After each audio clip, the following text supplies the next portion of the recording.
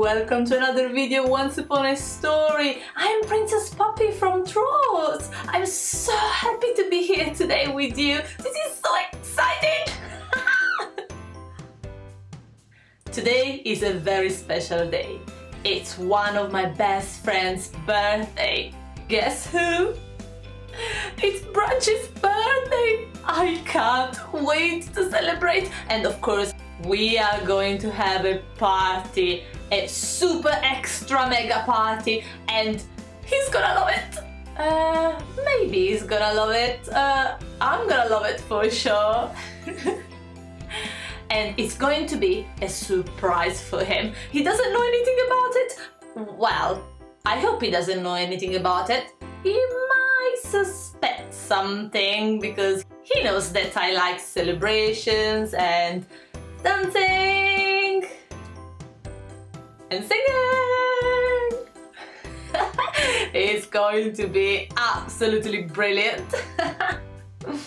now, I've prepared already the banners, uh, the balloons, uh, the cake is ready. Uh, what we are missing is a card, a birthday card. Now, if you know me a little bit, you know that I love art and craft. So I need to make a birthday card for Branch, okay? I make cards every time for every event, every day probably, and for sure they need to have loads of glitter in them. I love glitter, I literally live for glitter. okay, so let me see if I've got everything with me here. I'll show it to you as well, okay? So you tell me if I forgot something. Um, I've got card, loads of cards, so I hope I got enough, okay? Um, and then, oh, I cut out already some flowers. Yeah, I've done this already, so I might use them. Um, now I've got, of course, pair of scissors. Need to be very careful with this. Um, glue, glue, PVA glue. Uh, oh, colors. So I've got these colors. Um, oh, oh goodness, these colors. Uh, I like these ones as well. Uh, I might use them all. And most importantly, I need glitter. Lots and lots and lots and lots of it. Okay, let's see if I've got enough here. So this one, this one. I love this one. This one has got stars in it. And this, and this and this and this oh and and this and this uh you think I've got too much? No, never too much glitter. Okay, uh, we're gonna put it back. Stay there. Okay. I look forward to start this card. It's going to be super good. He's going to love it, I'm sure. Um, I'm thinking about glitter. He's not a real fan of glitter. Uh, oh, I'm sure he's gonna love it. it's hard time. Well, now it's always hard time. Oh, absolutely. We are here to read the book, aren't we? I was nearly forgetting that. Okay, let me show you the book that we are going to read today. it's gonna be trolls. Of course, it's my story. And of course, are, you're gonna meet all my friends as well. Um, ooh, that's Branch. And that's me. uh, yes, I know, he's a bit grumpy here. Uh, but it's not grumpy anymore. Oh, you're gonna see it. he has changed a lot. He likes singing and dancing now, and he has got a voice like an angel. He's so good. but anyway, if you don't know him yet and you don't know me yet, please stay with me because I'm gonna read you this story so you're gonna know a lot more about us, okay? So I'm gonna stop now, so see you in a bit. Bye!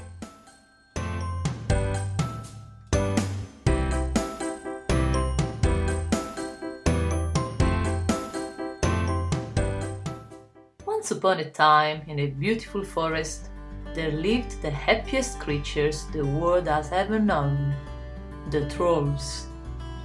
They loved nothing more than to sing, sing, sing, dance, dance, dance, and hug, hug, hug all day long.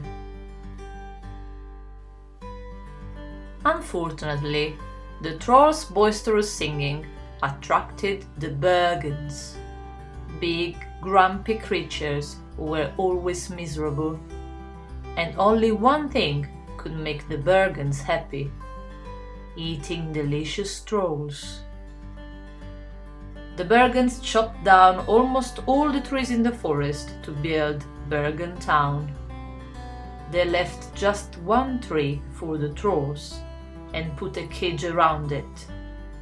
Once a year, on a holiday day called Trollstice, the Bergens gathered around the tree to eat trolls. It was the one day they could actually taste happiness. Young Prince Gristle couldn't wait for his very first Trollstice, when he would taste his very first troll and finally experience happiness. But when Prince Gristle bit down on a troll, all he tasted was wood. The trolls were fake. Where did the delicious trolls go? roared his father, King Gristle. Afraid of being eaten, the trolls had dug tunnels under their tree and escaped from the Bergens. We leave no troll behind, vowed their brave leader, King Peppy, carrying his torch of freedom. King Peppy helped every last troll get away. He even carried his baby daughter, Poppy, hidden in his long hair. King Peppy led the trolls to a wonderful forest home far away from the Bergens. King Gristle was furious with the royal chef and blamed her for letting the trolls escape. You are hereby banished from Bergen town, he roared, forever. Prince Gristle asked his father what would make him happy now, since there were no trolls to eat. Nothing, King Gristle answered miserably. You will never, ever, ever be happy. Many years later, after lots of singing, dancing, hugging, and scrapbooking, King Peppy's daughter, Poppy, was finally ready to lead the trolls. But before that, they needed to celebrate freedom from the Bergens, and that meant it was time for the biggest, loudest party ever. All the trolls were excited about the party, except one worried troll named Branch. Your big, loud, crazy party is going to lead the Bergens straight to us, he warned. They're out there somewhere, watching, waiting, listening. While you make noise out here, I'll be in my highly camouflaged, heavily fortified, Bergen-proof survival bunker. It had been a very long time since anyone had seen a Bergen. So the trolls were tired of Branch's constant warnings. In fact, they were a little upset with him for spoiling their fun. But Creek, a calm and peaceful troll, said Branch was just trying to help. Branch wants to be miserable, Creek explained. But I want all trolls to be happy, Poppy said. At the celebration, all the trolls, except Branch of course, sang and danced. Turn the music up, Poppy called out. Grinning, DJ Suki pumped the music even louder. Poppy played along on her cowbell. More glitter, Poppy shouted happily.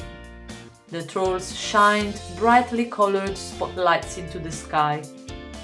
They fired the glitter cannons and set off a giant glitter explosion. Not too far away, in another part of the forest, the banished royal chef heard the explosions and thumping bass music. The alert Bergen peered through her spyglass and saw a burst of fireworks shaped like Poppy. Could it be? she thought. After all these years of searching, have I finally found the trolls? Chef stomped into Troll Village. Boom, boom, boom. Run! Poppy yelled. The trolls scattered, but Chef managed to scoop up several of them, including Biggie, Mr. Dinkles, Smidge, Cooper, Fuzzbert, Satin, Chenille, Guy Diamond, and Creek. After Chef left, Poppy led the remaining trolls to the safest place she could think of Branch's underground bunker. She asked Branch to come with her to save her captured friends.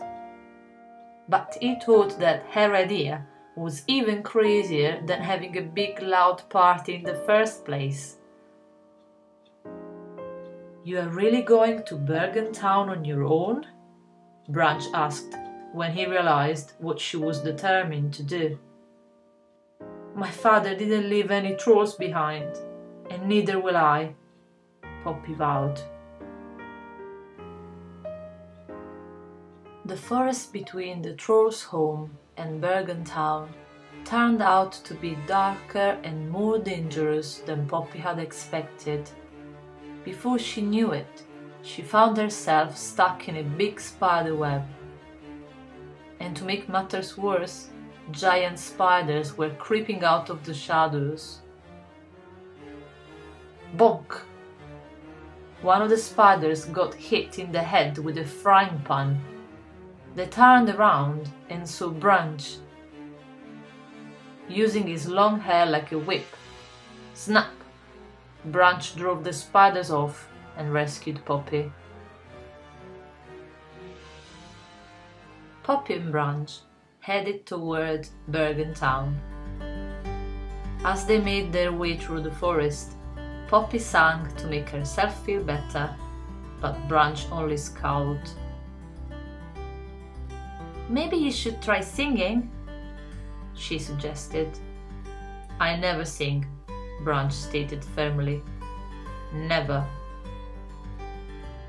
They soon discovered a series of tunnels near the edge of Bergen town. One of these tunnels leads to the troll tree, Poppy said. But the others lead to certain death, warned the talking cloud. Cloud Guy offered to show them the right tunnel if Branch would give him a high five, and a first bump, and a hug.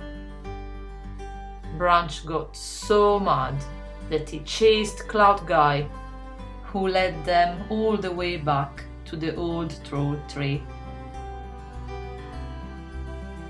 Meanwhile, in Bergen town, Prince Gristle had grown up and become king.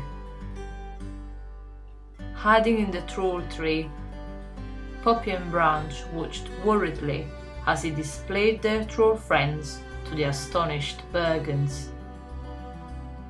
The newly unbanished chef announced a Trollstice celebration the next night. That's right, King Gristle crowed. Happiness is back on the menu. In the Bergen's castle, Poppy and Branch crept down a chandelier to spy on King Gristle. He was trying on his old Trollstice pip, which was far too tight when Cooper giggled, King Gristle realized there weren't enough trolls for a Trollstice celebration. To calm the angry king down, Chef popped Creek into his mouth. King Gristle left the dining room with Creek in his mouth. Chef turned to the scullery maid and barked. Bridget, lock these trolls in your room and guard them with your miserable little life. As Bridget wheeled the trolls away in their cage, Poppy jumped onto one of her apron strings. Branch had no choice but to do the same. Once inside Bridget's room, Poppy saw that the walls were covered with pictures of King Gristle. Bridget lay on her bed, sobbing. She's in love with him, Poppy told. Poppy convinced the lovesick Bergen to help her rescue her friends by promising to help her win the king's love with a new outfit and a new hairdo. While King Gristle was shopping for a new bib, Bridget walked into the store with the trolls on her head. They were using their magical hair to create a rainbow colored wig. Impressed by her beauty, the king asked her name. Repeating after the hidden trolls, she answered, Lady Glitter Sparkles. King Gristle asked her on a date, right then and there. King Gristle and Bridget had a great time eating pizza and talking, with Poppy and Branch in her wig, whispering all the right things to say into her ears. Bridget captivated King Gristle. Then Bridget spoke from her heart. Being here with you today makes me realize that true happiness is possible. It is, the king agreed, opening his locket to reveal Creek. He was still alive. True happiness is a lot closer than you think. After dinner, King Gristle and Bridget roller skated together. As the two Bergens zoomed around the rink, the trolls in Bridget's wig held on for dear life. King Gristle liked Lady Glitter Sparkles so much that he invited her to be his guest at the Trollstice feast. Yes, Bridget agreed, thrilled. Suddenly, Chef interrupted their date. She eyed Lady Glitter Sparkles suspiciously. Worried that she would be recognized, Bridget hurried away, dropping one roller skate. I'll see you at Trollstice, Lady Glitter Sparkles, King Gristle called after her, picking up her skate and holding it tenderly. Back in her room, Bridget was happy until she saw the trolls leaving to rescue Creek. No, no, she cried. You have to help me to be Lady Glitter Sparkles. I need you. But you can't pretend to be someone you are not forever, Poppy said as they left to save Creek. Bridget threw herself on her bed and sobbed. Meanwhile, in his bedroom, King Gristle got on his treadmill. He wanted to be in good shape for his next date with Lady Glitter Sparkles. The trolls crept into the bedroom and snatched the locket, but King Gristle's pet alligator spotted them. The trolls sped through the castle on a roller skate. Hold on, Poppy yelled. The scaly pet chased them, snapping his massive jaws full of razor sharp teeth. They finally escaped into the kitchen, where Poppy noticed that Creek wasn't in the locket. Where did he go? she cried, as whum! Chef slammed the cage down over the trolls. Chef sneered. Creek is going to lead me to the rest of the trolls. Poppy couldn't believe it, but Creek admitted he'd sold out his fellow trolls to save himself from being eaten. Believe me, I wish there were some other way, but there isn't, Creek said, reaching through the bars of the cage to take Poppy's cowbell out of her hair. Crick went back to the troll's deserted village and rang the cowbell. It's Poppy's cowbell, King Peppy cried happily. She's come back with the others. The trolls rushed out of Branch's bunker, only to be gathered up by Chef and her guards. Back in the castle's kitchen, Chef tossed all the trolls into a big cooking pot. I failed, Poppy said miserably. I got everyone I love thrown in a pot. All the colors drained out of her, but then Branch started singing. Yes, Branch! He sang about showing your true colors and then something amazing happened. His true colors came out. Poppy was filled with joy and sang along with Branch. Then her colors returned too. Well, Poppy said, we danced and hugged and sang. Now what? The lid was lifted off the pot it was Bridget. Now, you get out of here, she said. She'd heard Branch's beautiful song and just couldn't let the trolls be eaten. Go, now! The trolls ran off through the tunnels, but then Poppy stopped. She felt sorry for Bridget and for all the Bergens who never experienced happiness. At the Trollstice feast, Bridget admitted that she had let the trolls go. As Chef was about to have her arrested, the trolls stormed into the banquet hall on a roller skate. They jumped onto Bridget's head and formed themselves into the rainbow wig. Lady Glitter Sparkles? King Gristle cried, amazed. He realized that when they were together, he was happy, even without eating a troll. Poppy told the Bergens that all they needed to be happy was to hug and sing and dance.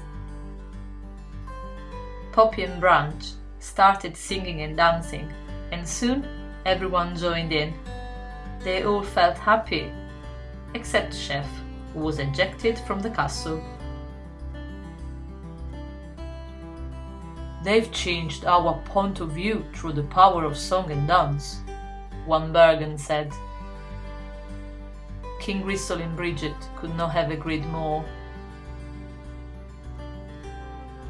Back in their village, the trolls kept the party going. King Peppy passed Poppy the torch of freedom and placed the crown on her head, announcing our new queen. And they all lived very happily ever after, even the Bergens.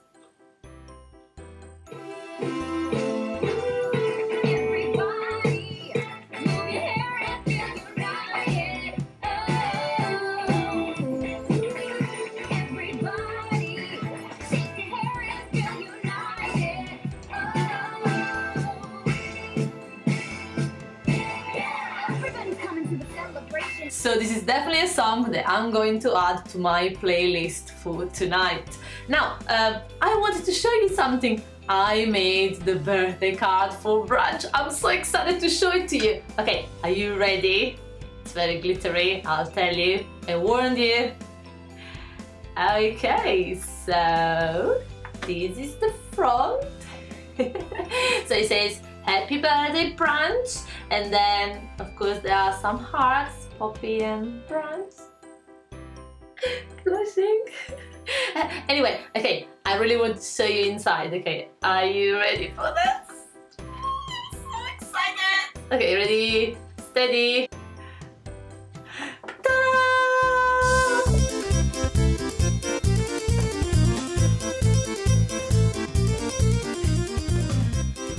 Oh, he's going to love it. Look, look. There's a rainbow. Pop up rainbow. Pop up rainbow. Yes, of course I'm gonna put more glitter in now. he's going to love it. Not. But yeah, no, he's gonna love it. I'm joking. It'll be fine.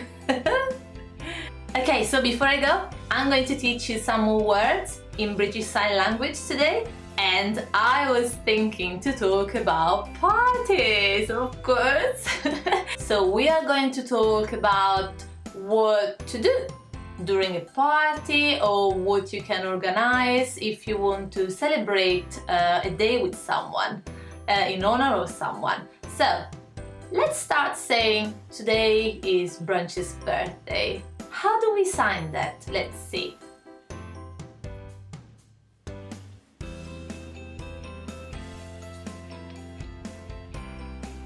we just said today is Branch's birthday.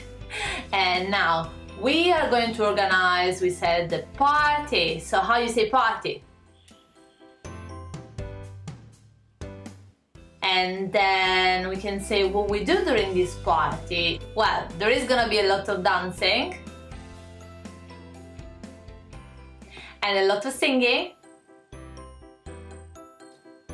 And also we're gonna take loads of photographs with our friends. So friends and photographs. We're gonna play together, play, loads of games. Uh, we can play cards maybe? Mm, no, probably not playing cards. Maybe a bit of computer games. I know the branches like computer games, but I think it's going to be a lot of singing and dancing to be honest.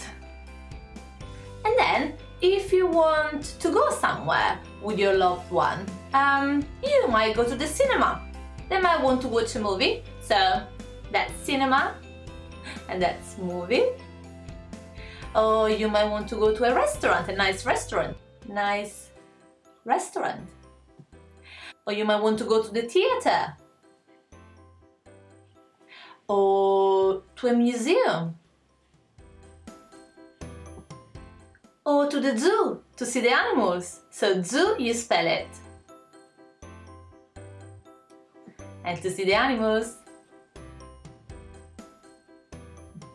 Or maybe you just want to stay home. Home. And maybe you want just to listen to some music. So that's music. And that's listening or you might just want to watch TV. So TV, watching on the sofa maybe, yeah? Or maybe you could just go for a walk, a romantic walk into the sunset. So that's romantic, that's walking, and that's sunset. So we learned so many words today. Oh, we've done so well. Okay, now it's definitely time for me to get ready. It's nearly time for Branch's birthday. I can't wait. Did I say that already? I can't wait. okay, I'm going to go now. And remember everyone, if you want to read along in the meanwhile I read you the story, you can definitely turn on the subtitles on the overlay. Joy, the person that takes care of our channel, is the one that writes the subtitles for you, so they're all checked, they're all good. So please do so, okay? So you can follow me better. And remember that all our videos have got subtitles on, checked and correct, okay? So you need just to turn them on to follow our characters, to read along with them, okay? It's been such a pleasure being with you today. Thank you very much for staying with me, for listening to my story, and I hope to see you soon, okay? Stay safe everyone! Bye bye!